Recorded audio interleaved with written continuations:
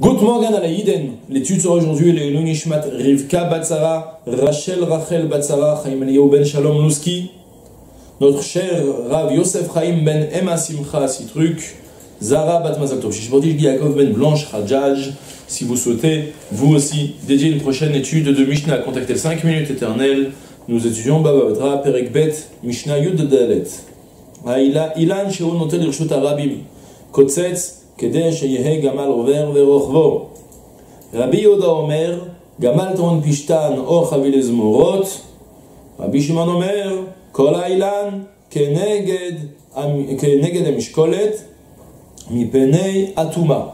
Mishnah très simple, encore un nouveau cas d'arbre à éloigner. On a vu l'arbre qui enlaidit la ville, on a vu les racines de l'arbre qui détruisent les parois du puits, on a parlé de tout simplement éloigner l'arbre de la frontière du voisin à cause de la charrue qui passe pour sillonner autour, pour qu'il ne rentre pas chez le voisin. On a parlé encore dans la Mishnah précédente maintenant du feuillage touffu de l'arbre euh, qui s'étend jusqu'à chez le voisin et qui lui fait de, l'ombre. D'accord? Il y avait des problèmes là-bas, ça empêchait la charrue de passer, il y avait des problèmes d'humidité, ça empêchait l'humidité de tomber, la rosée, tout ça. Et maintenant, encore un dernier cas d'arbre, et on finit comme ça, avec ça le, le deuxième Pérec, on va changer ensuite de sujet complètement. Donc, Ilan Sheunotel Irshut Arabim. On parle cette fois-ci d'un arbre qui s'étend jusqu'à le Reshut Arabim, la voie publique. Alors la Mishnah nous enseigne, Kotsetz, il devra couper les branches, Gamal Over Verochvo, afin, suffisamment, pour qu'il y ait un Gamal, un Gamal c'est un chameau, qui puisse passer Verochvo et l'homme qui monte le chameau. Qui chevauche, on ne dit pas chevaucher pour un chameau, donc qui monte le, chameau. Rabbi Oda Omer, Gamal Taun Pishtan, O Chavilei Zmurot. Rabbi Oda vient et nous donne une autre mesure, une autre hauteur, qui est Gamal Taun Pishtan, un chameau chargé de lin, d'accord? Le lin, c'est se présenter sous forme de, le lin qui est encore en branche, c'est quelque chose qui est assez euh, long. Or, chavilez murot, ou encore des, euh, des, bottes d'arbre, des, des, des bottes de bois. D'accord? Pour le moment, on fait un petit peu le point de quoi on parle. On parle donc que j'ai mon arbre qui s'étend jusqu'au Réchut mais jusqu'à la voie publique. À cause de cet arbre, ceux qui passent dans la voie publique se prennent les branches dans la tête. Les chameaux peuvent se le prendre dans la tête aussi. Alors, le principe d'abord, comme ça, on va bien, comprendre ensuite c'est quoi la mafloquette entre le premier avis et Rabbi Yehuda, Tanakama et Rabbi Yehuda. Le principe, il est clair, admis de tous, c'est que toute utilisation, qu'on a l'usage de faire sur la voie publique, eh ben, mon arbre qui dépasse dans sur la voie publique n'a pas le droit d'empêcher ces utilisations. Les passants ont un droit d'utiliser la voie publique pour faire ces utilisations, et moi, j'ai pas le droit de les empêcher de le faire. Donc, j'ai le droit, si je veux, d'avoir mes branches d'arbres qui vont dépasser au-dessus de 50 mètres au-dessus du, du rejut même éventuellement à 40 mètres, éventuellement même 30 mètres. Mais en tout cas, il va y avoir une certaine limite où on va dire là, c'est tout, tu élagues les branches parce que tu nous empêches de, vivre et d'utiliser le rejut la voie publique. La question est de savoir à quelle hauteur. Alors, d'abord, une fois qu'on mis cet axiome, on précise maintenant un autre axiome important. Tout dépendra, bien sûr, des usages en vigueur. Si dans mon quartier deux monde se promène en camion 15 tonnes, eh ben on fera euh, en conséquent, il faudra couper jusqu'à une hauteur de 5 mètres. Si on roule tous en, en Ferrari, on, a tous des voitures très basses, il n'y a personne qui marche à pied, personne ne sait prendre un branche, ce sera toujours bête, toujours en, en conséquent. D'accord? Le principe, il est admis de nouveau. Et c'est justement parce que, parce que l'axiome est clair qu'on a un problème à comprendre c'est quoi la discussion entre Tanakama et Rabbi Yehuda. On a ici deux mesures qui ont été évoquées. La première mesure, c'est le Tanakama qui nous dit le chameau avec l'homme qui monte le chameau. Et Rabbi Yehuda vient et nous dit non, non, non, le chameau est la charge. Question qui demande d'élaguer plus l'arbre Est-ce que c'est le premier avis qui nous dit le chameau et l'homme qui chevauche? Ou est-ce que c'est le deuxième avis qui nous dit non, le chameau avec sa charge? D'accord? C'est une question essentielle parce qu'en réalité, il n'y a pas lieu, apparemment, il n'y a pas lieu de discuter. Si on a l'usage de passer avec des chameaux et des charges, eh ben, il faudra veiller à supprimer suffisamment, à élaguer suffisamment de branches pour qu'on puisse passer avec le chameau. Et si l'usage il est de chevaucher, de monter sur, sur le chameau, alors il faudra aussi se soucier. Donc finalement, en quoi il peut y avoir une discussion? Et la Gemara pose la question et répond en réalité, Rabbi Oda a été plus cool envers le propriétaire de l'arbre que Tanakama. Tanakama, lui, il a dit le chameau est celui qui monte à cheval, il reste raide tranquillement, il a une branche qui arrive à sa hauteur sur son front, il peut se baisser. Tanakama lui dit non, non, non, moi je me baisse pas, toi t'enlèves ta branche. Rabbi Yodaven nous dit non, non, non, juste le chameau avec, euh, avec sa charge. La charge, elle ne peut pas se baisser. Mais quand c'est l'homme qui monte le chameau, il devra lui se baisser. C'est pas encore une, cause suffisante de partir prendre la tête au propriétaire de l'arbre de lui dire d'élaguer l'arbre parce que si je passe et je garde ma tête bien haute, je vais ma kippa, ma elle va se prendre dans la branche. Eh ben on va dire tu baisses un petit peu la tête et c'est pas grave. Ça c'est la vie de Rabbi Yehuda et donc on a compris maintenant la marloquette. La sera fixée comme Tanakama, mais auparavant on a un troisième avis et c'est super comme la machine est très courte, ça va nous faire l'occasion d'introduire un petit peu des lois de Touma Vetahara jusqu'à qu'on arrive dans le Seder Taharot. On aura l'occasion de rencontrer encore quelques halachot. Au lieu d'arriver là-bas et de trop patauger, alors chaque fois qu'on va avoir l'occasion d'en parler un petit peu de faire entrer quelques notions, si déjà, pourquoi pas. Rabbi Shimon Omer, Rabbi Shimon nous dit,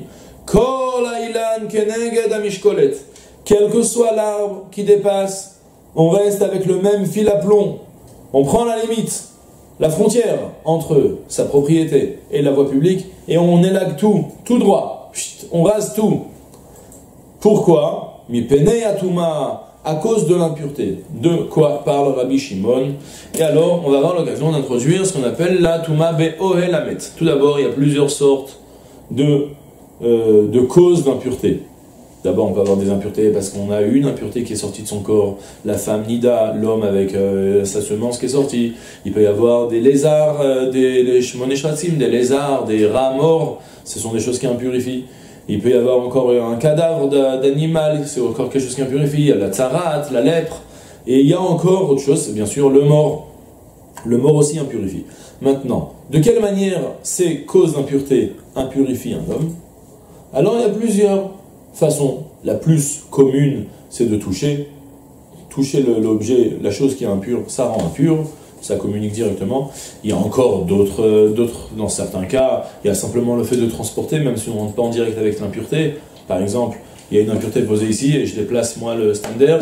Il s'avère que je déplace en fait le, la, chose qui, impure, qui impurifie. Cette fois-ci, ce ne sera pas toutes les causes d'impureté qui, qui rendront impur de cette manière. Et pour ce qui nous intéresse, c'est la Touma Be'ohel impurifié par le simple fait qu'on entre dans la tente. C'est spécifique aux morts. Oel, Itma, Shivat Yamim, tout celui, c'est marqué dans la Parashat Rukat, tout celui qui entre dans le Oel Amet, il devient impur. S'il y a un mort dans la pièce, le simple fait d'entrer dans la maison fait qu'on est tous dans, la même temps, dans, sous le même toit, et donc tout celui qui entre dans la pièce devient impur. C'est les problèmes notamment des hôpitaux en Israël pour les Kohanim, en Israël spécialement parce qu'en France, un goy rend impur Bemaga en le touchant, mais il rend pas impur par, euh, par, euh, par Thomas. Si je me trompe pas, attention, je suis suis pas un expert du tout dans, la matière, pour le moment, jusqu'à qu'on arrive dans la Mishnah de mais il me semble que c'est comme ça. Et donc c'est le problème qu'il y a dans les hôpitaux en Israël, vous allez voir qu'il y a là-bas, quand on va dans un hôpital euh, qui se respecte d'un point de vue religieux en Israël, il va nous dire attention, Kohanim, n'entrez pas ici, entrez par ici. Il y a, des, il y a des, des escaliers spéciaux pour les Kohanim qui veulent accompagner leurs femmes qui vont accoucher la vie n'est pas toujours facile. C'est pas évident d'être euh, l'élu d'Hachem. En tout cas, il y a encore un autre problème avec les, avions. Il y a, dans certains cas de figure, tant euh, qu'un mort n'est pas bloqué sous un toit, il a ce qu'on dit la Touma qui bokat veola d'Achamay. Mais ça, justement, c'est ce qui nous concerne ici. Sa Touma, son impureté, elle bokat veola, elle transperce et elle monte jusqu'au ciel. Donc en fait, a un avion qui passe à 15 000 mètres, une fusée qui passe, je ne sais pas combien de mètres elle, peut, elle peut voler, au-dessus d'un au d'un mort, il s'avère que dès qu'elle va passer au-dessus du mort, si un Cohen, il transgresse l'interdit de s'impurifier. Tout Israël devient impur. Et un Cohen, il a en plus de ça un interdit de se rendre impur, de se souiller. Il y avait des histoires comme ça il y a quelques années avec les, avec les avions, quand il y avait des matchs de foot dans je ne sais pas quel stade, les avions de, de d'Israël prenaient un autre, un autre couloir, et là-bas ils passaient au-dessus d'un cimetière, ça posait des problèmes. Enfin voilà, on a évoqué le sujet de manière euh, vague. Concrètement, maintenant pour notre Mishnah, Rabbi Shimon nous dit tu laisses aucune branche dépasser dans le rejus d'Arabim. Pour quelle raison? Pour la simple, simple raison qu'il va, si tu commences à laisser des branches sortir, alors excusez-moi, je fais un petit, comeback. On a dit qu'un toit transmet une impureté. Qu'est-ce qu'un toit? En brique, c'est vrai, bien sûr. Un toit, ça peut être plein de choses. Tout, en fait, en réalité, tout ce qui a une largeur de 1 téphar. Un téphar, c'est un point, 10 cm, 9 cm, 8,9. Il y a plusieurs, euh, plusieurs avis. 9,8 cm, je crois que c'est la vie du Khazonich. 9,8 cm, quelque chose qui est large de 9,8 cm. Même un, bout de bois qui pourrait sortir comme ça, une petite poutre qui pourrait sortir, et eh ben ça c'est un OL à mettre. Ça signifie que si il y a une poutre comme ça qui sort comme ça, tout le long sur 2 mètres et qu'il y a un petit bout de mort, un kazaït de mort qui est ici, qui est donc euh, à proximité du mur, et eh ben le bout de poudre qui est de l'autre côté, celui qui passe en dessous, il sera impur à cause du à mettre. En l'occurrence, Rabbi Shimon nous enseigne et nous dit tout, toute branche qui dépasse dans le rechute Rabim, il faut les élaguer complètement dans la mesure où tu vas causer un tort à ceux qui vont passer dans la chute mais ils vont pas faire attention qu'il va y avoir un petit bout de cadavre. C'est fréquent à l'époque, euh, apparemment, je sais pas. Et il y avait des corbeaux qui pouvaient prendre, des corbeaux, toutes sortes de rapaces qui pouvaient prendre un kazaït minamet, une quantité de 1 kazaït, 27 cm3. 27 cm3 le kazaït, à titre indicatif, c'est la taille d'une petite boîte d'allumettes en Israël, les petites allumettes euh, classiques. C'est exactement le volume de ça. Donc un petit kazaït minamet, comme ça, ça peut se trouver. Et s'il y a ce volume-là, alors peut-être qu'il est passé sous la branche qui dépasse dans le jeu d'Arabim, et ça va rendre impur tout celui qui va passer à proximité sans qu'il fasse attention.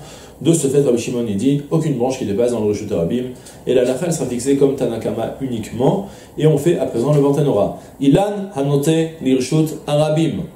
L'arbre qui tend, qui s'étend sur le rishut Arabim, sur la voie publique. Il devra couper et laguer les branches afin que puisse passer le chameau et celui qui le monte. Gamal taun pishtan, alors ça c'est le deuxième avis de Rabbi Yehuda qui nous dit le chameau chargé de, de, de, de lin. Selon Rabbi Yehuda, il n'est pas nécessaire d'élaguer suffisamment pour que le, celui qui, qui monte le, chameau puisse passer aisément. Pourquoi? Celui qui chevauche, c'est le mot, il devra être gachin, se courber, se plier, vechalif tutei, être cholef, être passé en dessous. Il n'y a pas besoin de, prendre la tête au voisin, d'enlever sa petite branche parce que tu sais, tu veux pas te baisser, baisse-toi et tout ira bien. Et on a le troisième avis, c'est Rabbi Shimon, mi pene atuma c'est que c'est de quoi Mipnatuma à cause de l'impureté. Shema, Ya'ahilu anafim al kazaït minamet. De peur que les branches vont, les aha'il, c'est faire un toit, faire une tente. Donc de peur qu'ils vont recouvrir, en fait, un kazaït minamet, une quantité de un kazaït de le, volume d'une olive de l'époque du mort, et Vekayot ou toute chose comme ça. Veitma Adam Overjam, et dans ce cas-là, l'homme qui passera ensuite sous cette branche sera impur.